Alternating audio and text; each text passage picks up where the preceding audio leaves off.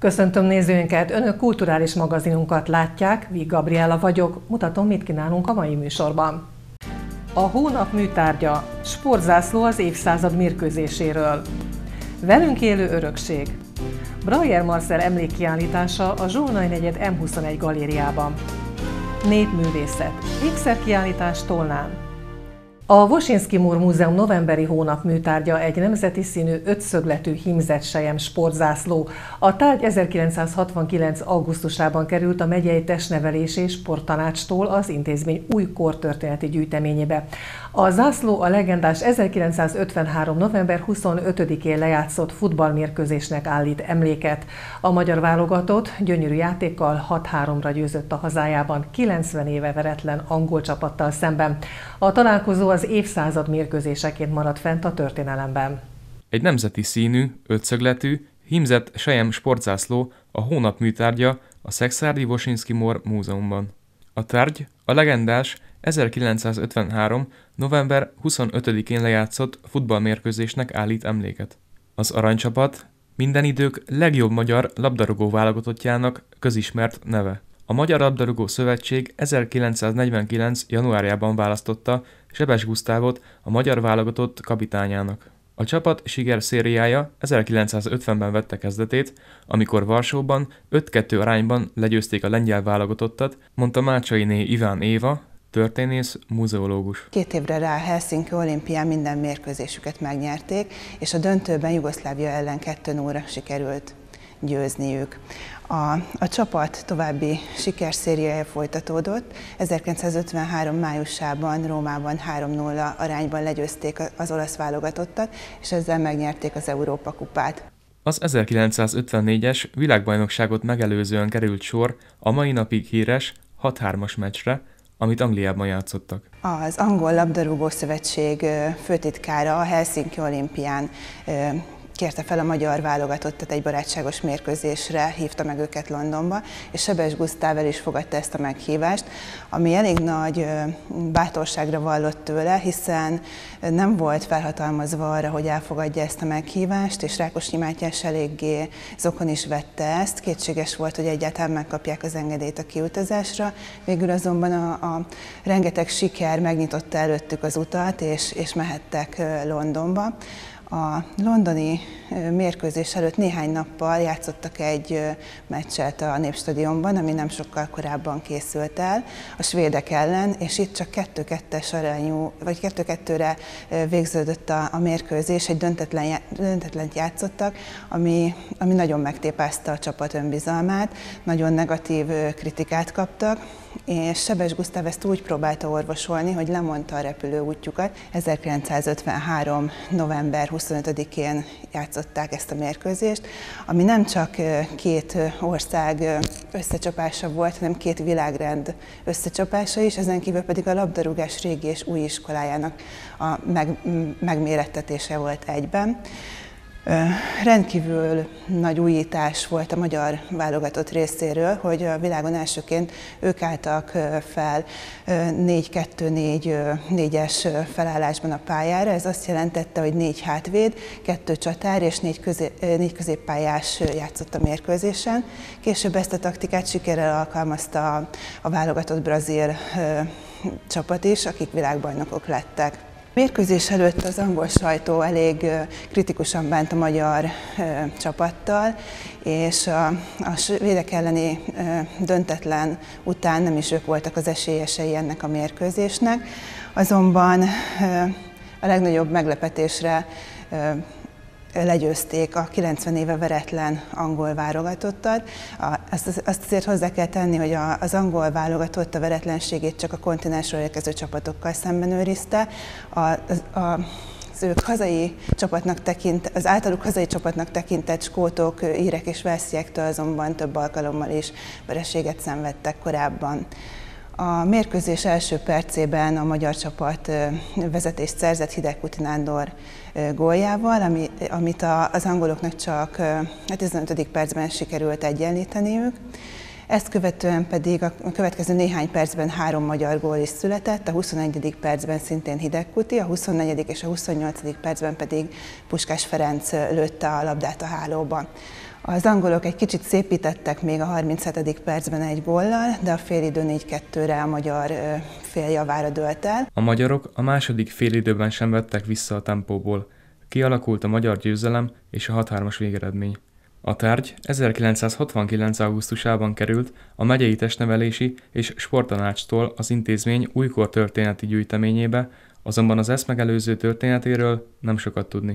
1993-ban, november 25-ét a magyar labdarúgás napjává nyilvánították. Ennek a győzelemnek a híre nagyon gyorsan elterjedt a világban, a sajtónak köszönhetően.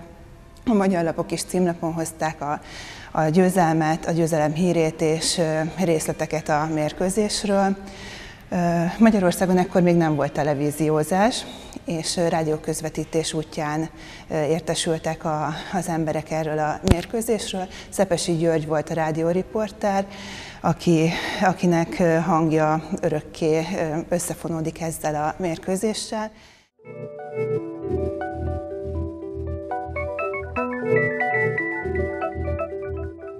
Kiállításnél Tanai Guzorán Anna alkotásaiból Szexárdon, tanulmányait Pécset, Szombathelyen és Kaposváron végezte. Alkotó tevékenységét az iparművészet, ezen belül a textil műfaja jellemzi, de szívesen kalandozik a képző és iparművészet más kifejezési lehetőségei között is, így például a zománc és a festészet is megjelenik munkáiban.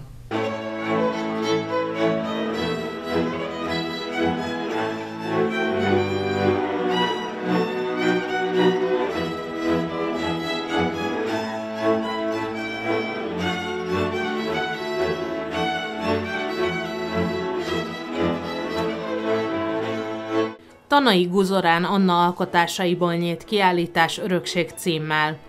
A névválasztás, mint mondja, tudatos választás része volt. Konkrétan 2018-ban született egy olyan munkám, aminek ezt a címet adtam. Valahogy tudatosan több éve fogalmazódott bennem olyan gondolat, ahol a megismert, által megismert népművészeti motivumokat össze tudom kovácsolni a Magyarország, kis Magyarország és Nagy Magyarország tájairól. Ez mindig is foglalkoztatott és ezért tulajdonképpen ezt a munkát választottuk címadó munkának, és az egész kiállítást ekköré fűztem föl. De örökségnek tekintem mindazt a hagyományt, nem csak a néphagyományt, hanem mindazt a hagyományt, azt a szellemi kultúrát, amit megörököltem a szűkebb környezetemben, az elődeimtől, a családomtól, hiszen ö, ö, többször elhangzik ö, ö, általam, hogy, hogy nagyszüleimtől, nagyanyámtól, mind a két nagyanyámtól tanultam szőni és hímezni, tehát a textil szeretetét, de tágabb értelemben örökségnek tekintem azt az emberi szellemi értéket, amit a, a tanulmányaim folyamán, illetve a különböző munkakapcsolatok folyamán mestereimtől tanultam és azt gondolom, hogy pontosan a, a, az anyagnak a, a sokoldalúsága is ezt a, ezt a fajta örökségnek különböző darabjait szemlélteti.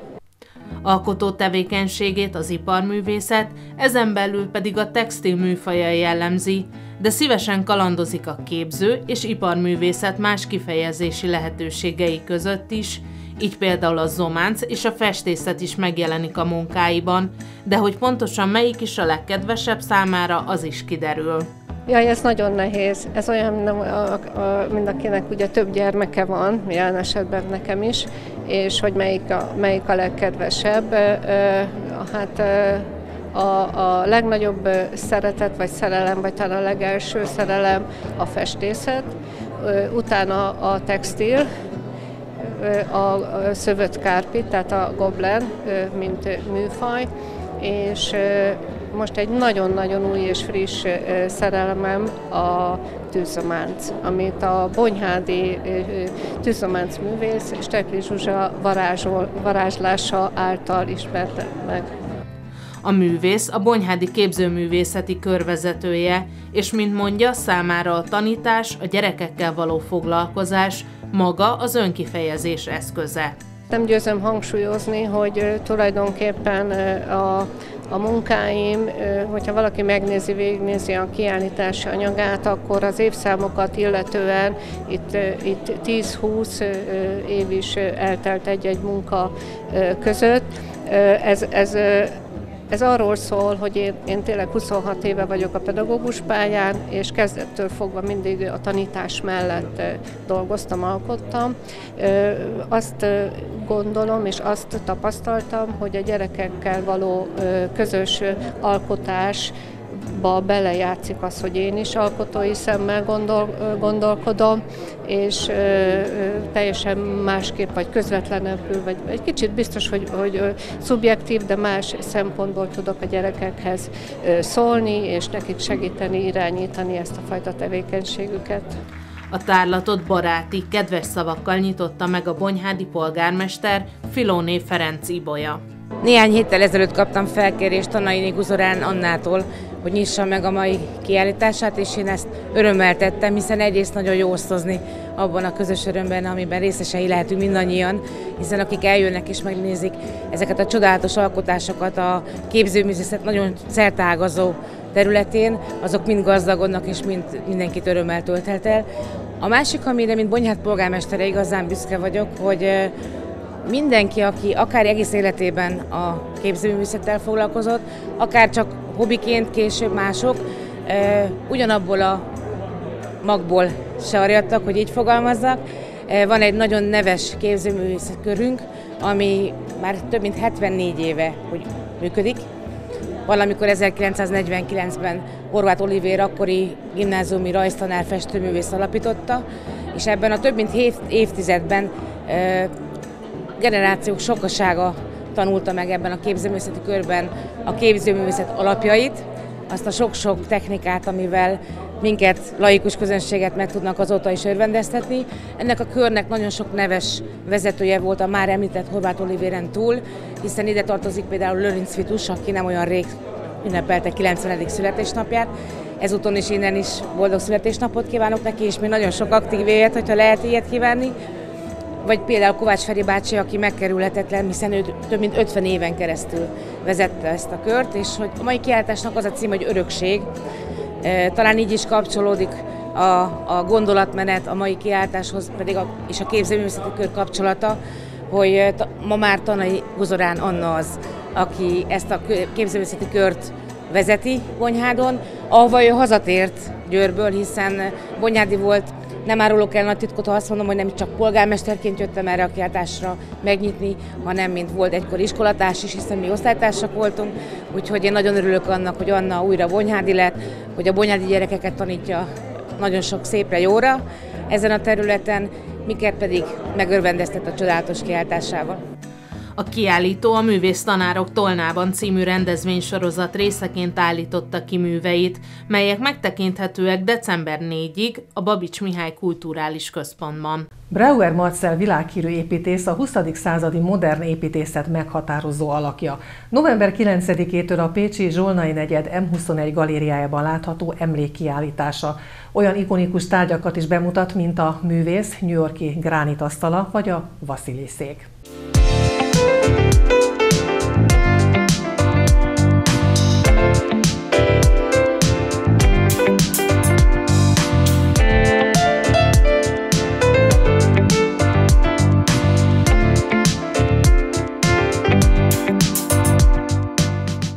Brauer 1902. május 21-én született Pécsett, és itt is nevelkedett. 20 évesen volt, amikor szülővárosát elhagyva megkezdte tanulmányait a Bauhausban. A század első évtizedeiben bútortervezőként szerzett nevet magának, majd miután 1937-ben az Egyesült Államokba emigrált, építészként vált ismerté, de kapcsolatát a szülővárosával egészen haláláig megőrizte elbűvölően közvetlen személyiség volt, és hogy, hogy ezt a közvetlenséget egyrészt a butoraiban, épp most ültem egy ilyen B3-as klubfotelben, amit Szék néven ismer a világ, és a, a, az épületeiben is lehet érezni. Hát privát, azokban a privát házakban, amelyekben leginkább azokban nekem nem volt módom körülnézni, de a, a Whitney Múzeumban, amelyiknek a makettje itt mellettünk látható, tehát a, a New Yorkban álló valaha az amerikai művészetnek szentelt múzeumban, ott jártam, és ugyanezt éreztem, hogy látogatóként és muzeológusként is nagyon otthon tudok lenni.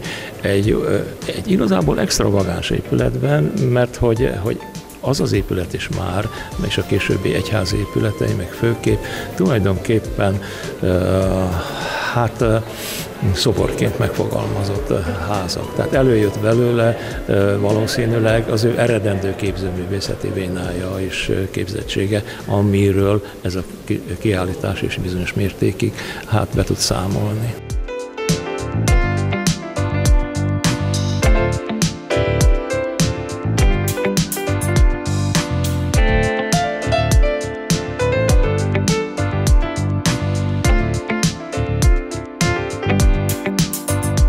Az épületeket érthető módon nem sikerül bemutatni monumentális méretük miatt. Erre vannak a fotók, a tervrajzok, a különböző dokumentációk, a kiváló makettek, és mindehez társul még egy remek film is, ami az M21 galériában látható. A, az bútortervezői munkásságát illeti, hát abból sok mindent, mert ugye a bútor az, az végül is populáris. Egy bizonyos körben, mert drágák természetesen a, a, a Breyer modellek, de gyártják ma is őket őket. Úgyhogy hát ott is vannak olyan darabok, amelyeket mondjuk 2010-ben az Európai Kulturális Főváros Program alkalmából rendezett Magyarok a Bauhausban kiállításra még el lehetett kérni a, a,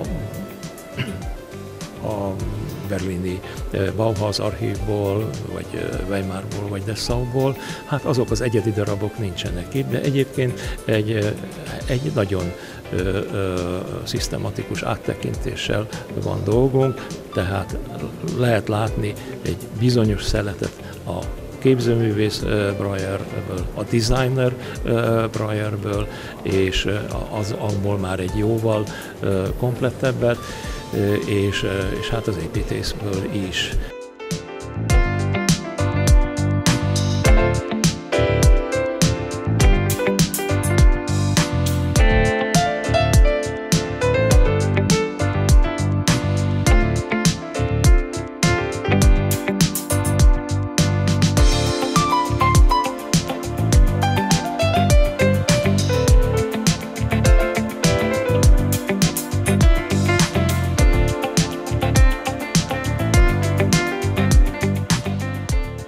Brauer Matszer életutállomásait is végig kísérheti a látogató. Ebben a tematikus elrendezés segíti a kíváncsi érdeklődő betérőt. Ez ugye úgy néz ki, hogy, hogy Budapest, Weimar, amit nem szoktak emlegetni, volt egy kis kitérő Párizsban, aztán Dessau, aztán egy kis Berlin, ez nincs minden itt jelen, aztán Anglia, és akkor utána az Egyesült Államok ahol, ahol hát ő építészként egy tüneményes karriert fut be, úgy, hogy visszafelé is tervez Európába. Miközben ő az európai építészeti, modern építészet nyelvét vitte át az Egyesült Államokba, tulajdonképpen a Bauhaus, a modern mozgalom építészeti furcsa ez azt mondani, hogy tradícióját, de azt, és, és hát kialakult egy nemzetközi építészeti nyelv.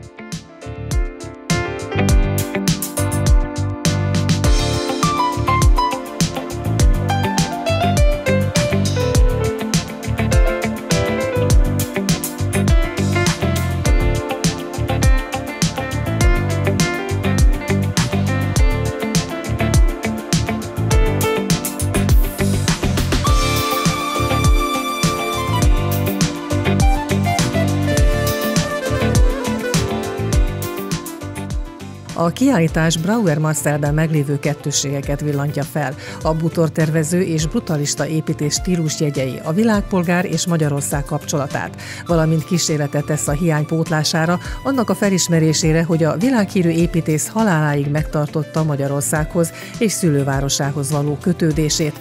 A kapcsolatot személyes barátaival és a várossal, amely egy múzeum tervezésére kérte fel. Erre sajnos betegsége miatt már nem kerülhetett sor. Ő ismét egy olyan világhírű magyar, akire méltán lehetünk büszkék. Brayer Marcel világhírű építész a 20. századi modern építészet meghatározó alakja november 9-től a Pécsi Zsolnai negyed M21 galériájában látható emlékkiállítása.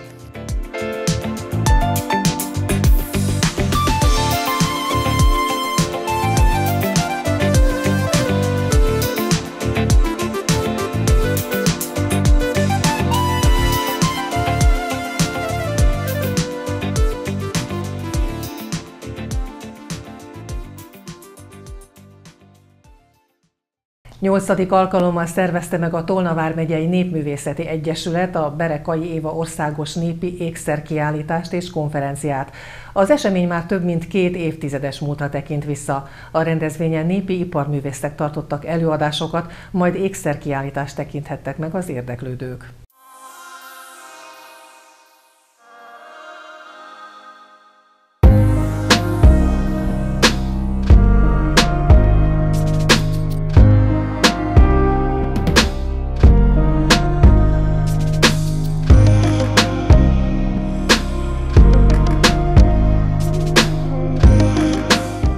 Nyolcadik alkalommal rendezték meg a Berekai Éva országos népi ékszerkiállítást és konferenciát. A nap Nagy Gyöngyi népi iparművész előadásával kezdődött, melynek témája a himzés minták alkalmazásainak veszélyei és lehetőségei voltak, mondta Komjáti Tamásné, a Tolna megyei Népművészeti Egyesület elnöke. Nagyon szeretnénk meg, ahogy lehetett is hallani, egy pár beszédet szerettünk volna az alkotókkal létrehozni, és azokra a veszélyekre felhívni a figyelmet, amelyek a,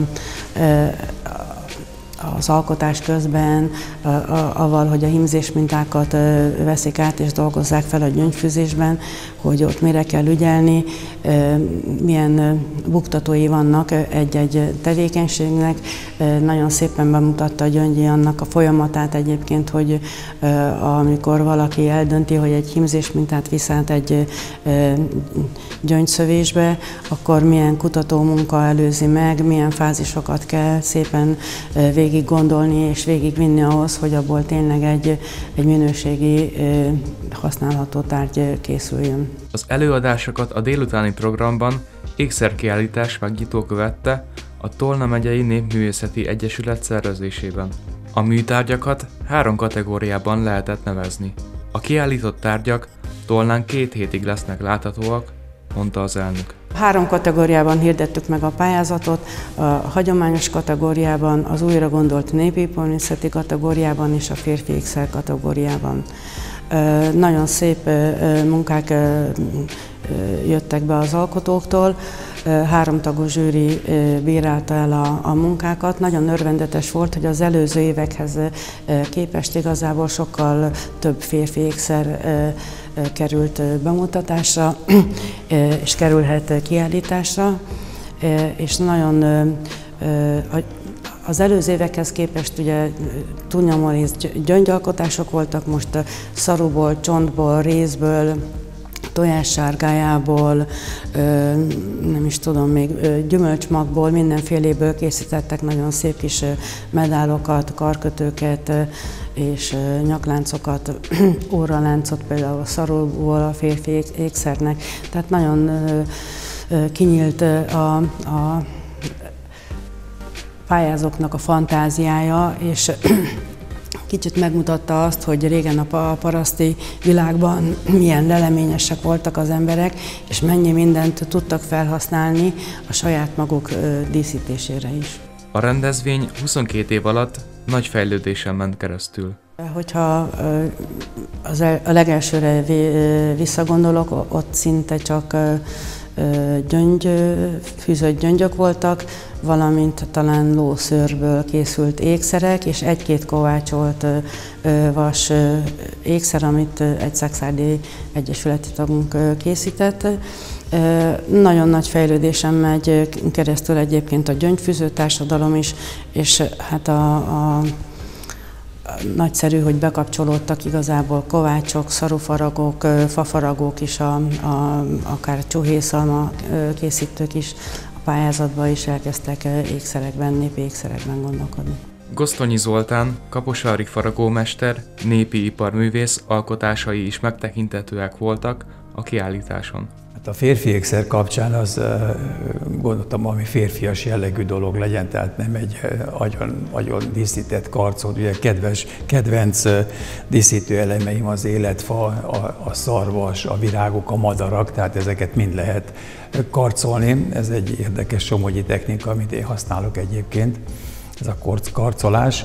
Viszont a, amit most a férfi viseletbe választottam, ez egy szarvas nyakba való szarvas lenne, mégpedig a, az Alföldön nemrég ásatásból előkerült szkita szarvasnak a motivumvilága tetszett meg, és egy kicsit tovább gondolva ezt alkalmaztam erre a nyakba valónak. És még egy kicsit, ugye a csont az egy fehér alapanyag, tehát egy rikító, és női ékszerként remekül mutat, de úgy gondoltam, hogy egy pici, picit patinázok rajta. Tehát egy vadonatúj darab, de, de úgy néz ki, mint legalábbis, legalábbis úgy szerettem volna, hogy úgy nézzen ki, mint egy kicsit régebbi, egy agyon használt és mindennapos használatra alkalmas ékszer legyen. Jókainé Gombos Beatrix egy különleges tojás égkő kollekcióval pályázott a kiállításra. Én tulajdonképpen, mint néprajzos néprajzkutató vettem ebben a munkában részt. Nagyon különleges adatokra találtam. Gyimesben, három széken egy-egy pici kis töredékes adat vonatkozott arra, hogy a húsvéti tojást, hogyha a legény 7 évig megőrzi, az összeszárad belülről. És utána, ha ezt feltöri, a fehérje, mint hogyha borostyánná változna. Egy különleges anyag keletkezik, és ezt, hogyha megmunkálja, akár gyűrűt is lehet belőle készíteni, és a lány, akit meglocsolt és ajándékként kapta ezt a tojást, tulajdonképpen egy szerelmi ajándékként egy jegygyűrű formájában tudja ezt viszonozni. És nagyon kíváncsi voltam, hogy ennek a történetnek van egyáltalán fizikai alapja, mi ez az anyag, ez a kicsapódott tojásfehérje, hiszen tudjuk, hogy főtt tojásról van szó húsvétkor, ami, ami keletkezik a sok év összeszáradás után. És ekkor fordultam Fehér Vilmoshoz, hogy keresünk ilyen tojásokat, és, és nézzük meg, hogy valóban ez csiszolható, alakítható-e. És így első körben egy gyűrű készült el, majd utána, amikor láttuk, hogy valóban megmunkálható ez az anyag, akkor egy karperec és egy hajfésű is készült, és ezt nyújtottuk be erre a pályázatra. Mindenképpen szeretnénk tovább folytatni ezt a kísérletet, hiszen szeretnénk magát az anyagot is jobban megismerni, hogy tudjuk ezt mi magunk is már tudatosan előállítani. Mennyi ideig kell főzni a tojást, hány évig kell őrizni, milyen hőmérsékleten, milyen páratartalomban tárolni, hogy ez valóban felhasználható legyen. Tehát egy fizikai, kémiai kísérletezés fog következni. A szervezők az eseményt a szokásokhoz híven három év múlva tervezik újra megrendezni.